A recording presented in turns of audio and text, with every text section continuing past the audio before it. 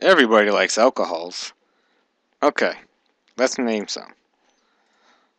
So, alcohols are basically um, OH at the end of a, any given chain. So, this here is an ethyl is an alcohol. This is the one that gets you drunk.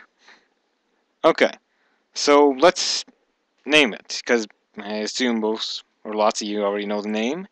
So, um, number the carbon chain, 1, 2.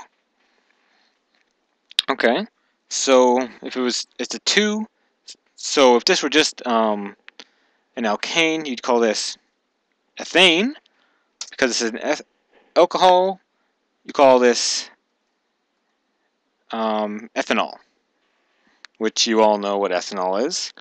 Now, would you call it one ethanol? Um, you could, although it doesn't really matter, because if this were over here on the 2, then you start numbering from the 2 and it'd be 1 ethanol. So ethanol and 1 ethanol are the same thing. 1 ethanol is a little bit redundant. Okay, so let's get another one.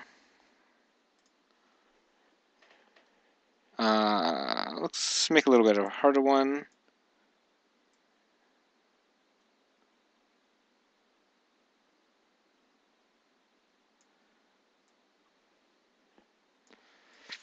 Okay. What is this?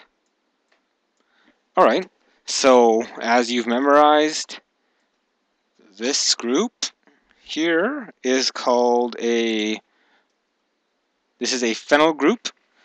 So instead of phenyl, this is going to be phenol. Well, because of the alcohol. So really not that bad. A um, couple more examples before we get into a little bit harder alcohols.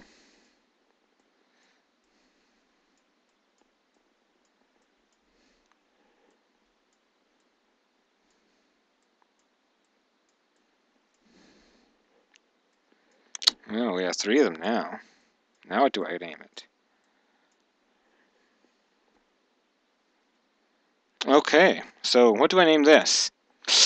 Let's start numbering it. So, one, two, three, four, five. This case doesn't matter what side you start numbering from. So five, this is a pentane.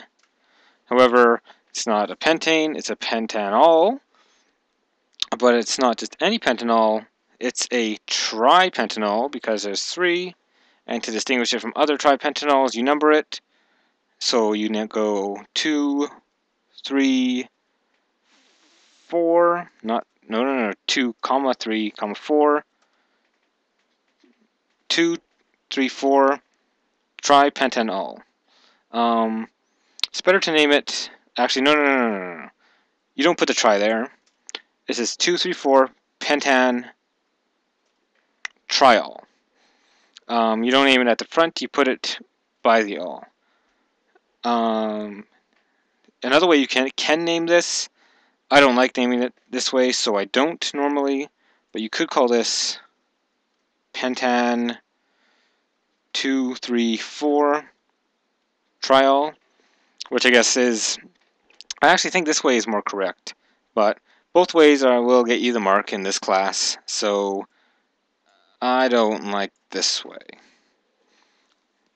Okay, so that's what you call alcohols when they're the um, dominant group. But as we've already seen, um, the most dominant are carboxylic acids. So what do you do if you have a carboxylic acid here. And then you have a couple of alcohol groups hanging off of it.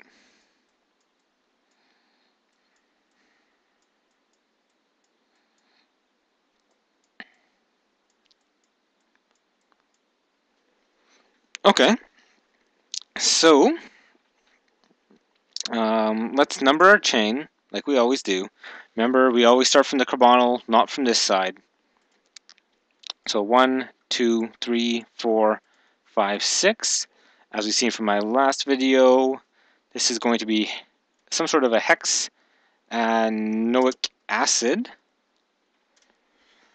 Okay, and then there's alcohols at three, four, and or sorry, two, four, and six. So what do we do then? Is this a hexane all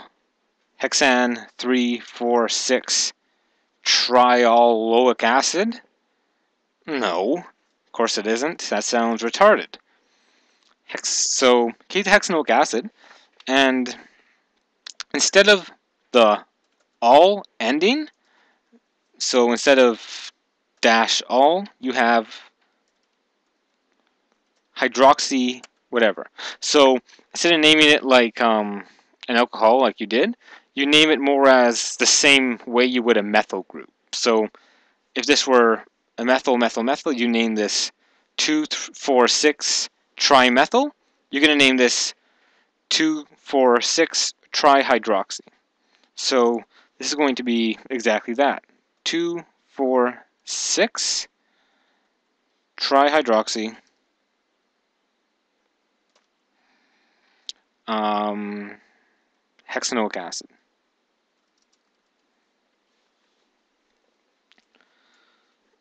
Okay, that's all there's is to know about naming alcohols.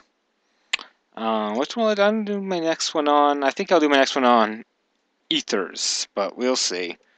Okay.